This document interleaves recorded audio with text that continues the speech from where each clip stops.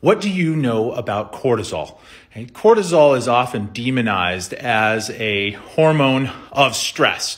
And while it is released during the stress response, its main job in the body is actually to mobilize sugar for your body. So in the fight or flight mechanism, when we're under threat, it would mobilize both glycogen, which is a stored form of sugar in the liver, or cause glyconeogenesis in the liver. Either way, cortisol is there to help get us energy to our muscles so that we can, it motivates us to either run away or another avenue here is that when we're hungry, Okay, so when we're hungry, that is actually a state of the liver. We talked about the fed state.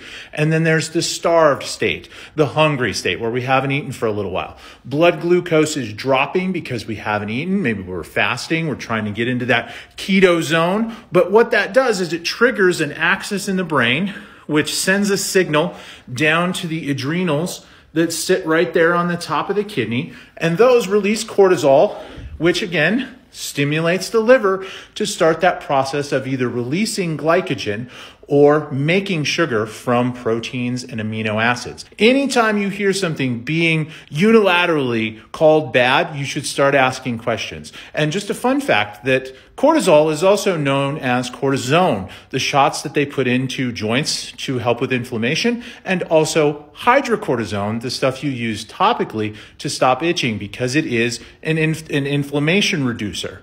All right, that's it for today. Let me know if you have questions.